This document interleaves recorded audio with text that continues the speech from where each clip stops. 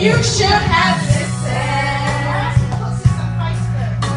There is someone here inside.